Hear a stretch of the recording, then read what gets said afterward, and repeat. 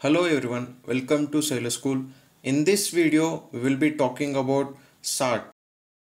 So the main agenda of this video is to understand what is SART and we will look into its working. Suppose if you receive a SART signal when you are on bridge, what you are supposed to do and the SOLAS requirements for SART and also we will be talking about how SART is stored tested and what are the maintenance we must carry out at regular intervals and finally finishing this video with the topic cancellation of false alert where the SART can be accidentally activated which is causing a false alert to be transmitted. How to cancel such false alerts. What is SART? The full form of SART is Search and Rescue Radar Transponder which is a portable device.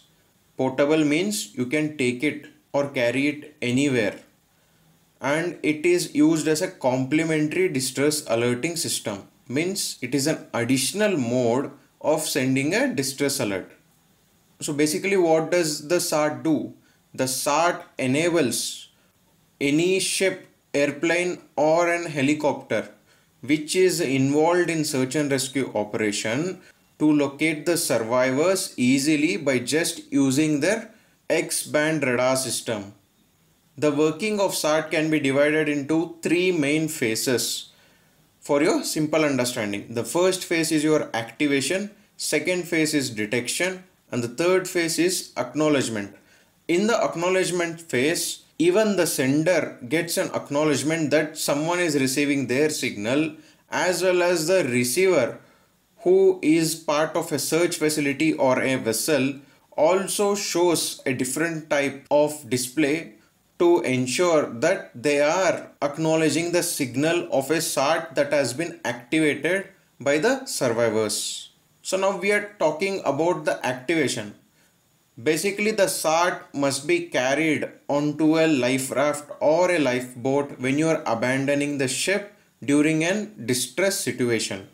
After carrying it to the lifeboat or life raft, it should be deployed at a height of at least 1 meter above the sea level and be switched on immediately into its standby mode. So this will allow the SART to respond to transmissions from vessels, helicopters, planes which are involved in a search and rescue operation and they will be carrying the X-band radar so the SART will be responding to their X-band radar transmissions. Now moving on to the second phase that is detection. When the search facilities which has X-band radar operating in their search area or executing a search and rescue operation is detected by SART. So when it is detected, the SART will switch from standby mode to the transpond mode. Transpond mode is where the SART will give audible and light indication to the survivors. So this indication is a part of acknowledgement on the SART side. Similarly, the search facilities which has X-band radar on that there are certain radar patterns to ensure the distance between the SART which has been activated to the ship which is searching for that SART. When the search facility is more than one mile away, a line of 12 equally spaced dots, the distance between the two dots is 0.6 nautical miles and this will be visible on your X-band radar screen. And similarly, when the distance between the SART and the search facility is less than 1 nautical mile, then these 12 dots will start to change into arcs and later when the search facility is in the proximity of the sart these arcs will change into consecutive circles. After the search facility gets consecutive circles, you can be sure that the sart is in the vicinity and you're supposed to observe and target the SART visibly. During the abandoned ship, when you're carrying sart there is a specific way that you are supposed to deploy a SART so that the efficiency of the SART will not be hindered by any harsh weather or sea conditions. To achieve the maximum detectable range, the SART should be mounted vertically at least 1 meter above the sea level. Increasing the height of the SART will increase its detectable range because the radio waves the SART transmits uses a line of sight type of transmission as we discussed in earlier videos. Additionally, the SART must not be obstructed by any metal objects or by an inflatable radar reflector which means when the SART is activated never use your inflatable radar reflector so that the SART signal will be much efficient towards getting detected by any search facility. If the SART is mounted at least 1 meter above the sea level and the X-band radar is at least 15 meter above the sea level, then the detectable range of maximum 5 nautical miles is possible. So this range of 5 nautical miles can be increased up to 40 nautical miles when a helicopter or a plane flying in the search and rescue area at an altitude of 1000 meters or above. You can notice how the SART is rigged inside the life raft in this picture. Mostly the SART will be provided with a telescopic pole which is to be enabled and held at least 1 meter above the sea level that is external mounting and a SART can be deployed by a lanyard or a strap which is inside the life raft. It is an internal part of a life raft. It will be already present. So you're just supposed to hang your SART after switching it on inside a life raft. This also help in increased efficiency of the SART which has been activated. Now let us talk about the SOLAS requirements of the SART. All SOLAS vessels which are under 500 GRT must carry at least one SART. All passenger vessels and cargo vessels of 500 GRT or more are required to carry two SARTs. So basically less than 500 GRT, one SART, more than 500 GRT, two SARTs must be available. SARTs must be equipped with a battery which has a capacity of at least 96 hours in the standby mode and 8 hours in the transpond mode. So we have discussed what is the standby and transpond mode earlier and an IMO symbol which should indicate the location of the SART must be depicted at the location where this SART is stored. A SART is normally stored in a life raft but more commonly it is mounted at an accessible point on the vessel. Accessible point is the point or the place where a person should be present during this abandoned ship. Always. That is known as accessible point. For example a place next to the emergency exit or a navigation bridge of a ship is the most common areas where the additional SART can be present Okay, now let us come to the testing and maintenance of the SART. As you all know, SART is an important device as it comprises inside the GMDSS equipment and used to send a distress alert. So it is a kind of a safety device.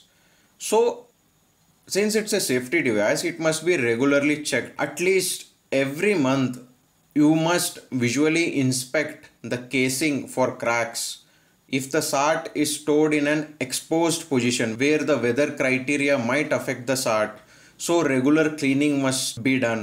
If the sart is supplied with a pole, then check the pole that it operates correctly. Check to ensure that the lanyard is neatly bundled and firmly secured to the sart. And make sure that the IMO symbol present on top of that is clearly visible. Check battery expiry label shows sufficient battery life to cover the next routine voyage. Perform a functional test of the SART. Hold the switch on the SART in its twist position. And after all these checks, you are supposed to carry out a live test of the SART, which is also known as a functional test. hold the switch on the SART in its test position. Now on the vessel's X-band radar display, you will see a concentric circles covering the whole radar display. When this is visible, your testing is completed and the SART is efficient. After this test, you are supposed to bring it back to the middle position or the neutral position and later store the SART in the same manner in your respective stored position. Suppose if you are trying to test the SART and there are no concentric circles appearing in your X-band radar, what are you supposed to do? Or what if any of your SART fails the monthly checks? Then it must be returned to the supplier or an authorized service agent. If the battery is beyond its expiry date, the SART must be returned to an authorized service agent for a battery change. So most of you people might be wondering why can't we change the battery? Of course you can change the battery provided that it is present on board and the person who does it has the authorization. So basically the battery of the SART will be inside the SART, right? So we will not be knowing what if you're not able to connect a battery properly and later a real-time emergency if the SART is dropped inside the water and the battery gets short circuited or something else. So due to all these specific factors, we are not supposed to carry out this operation on board uh, such as battery change or tampering with the SART. So basically most of the people will not do it. Authorized service provider will take this job. Suppose if you use the SART in case of emergency and the battery has been drained because once you activated it will be in either standby mode or in dormant mode so once you have activated for the purpose of distress or you are accidentally activated the battery will be completely drained out. So you are supposed to send it to an authorized service dealer for a battery change. So now imagine you are the officer of the watch keeping a lone watch and you're receiving a SART signal uh, from a faraway place. So what you're supposed to do? First thing as an officer of the watch you're supposed to call master after the master comes what are the steps that should be done? What basically to be done is that you will inform the nearest rcc as soon as possible. Because once they get this intimation then they will start the search and rescue operation accordingly. Try to contact any survivors by vhf on channel 16 because the gmdss handled vhf could be carried by any survivors who are present near the SART location. Try to identify the location of SART visually so that visually you can also observe if there are any survivors nearby the SART. Alter the course to search for a life raft at a SART location if possible. So that is all as an officer of the watch all these things you can do. Suppose by mistake or due to any other internal issue of the SART an accidental activation of the SART will happen. Okay, assume that. So what you're supposed to do next? You are supposed to switch off the SART immediately and transmit a DSC safety alert on VHF channel 70.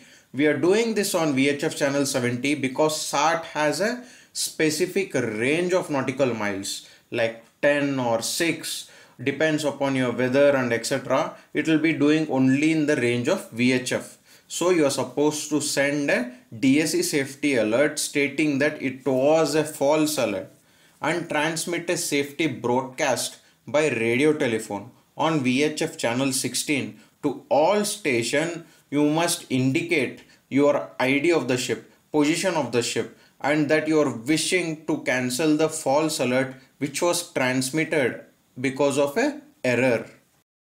So all these things which I have learned right now or almost each and every detail of the SART has been included. So this is it for this video. Thank you for watching till the end. I hope that you like this presentation and uh, please do subscribe to Sailor School for more interesting content.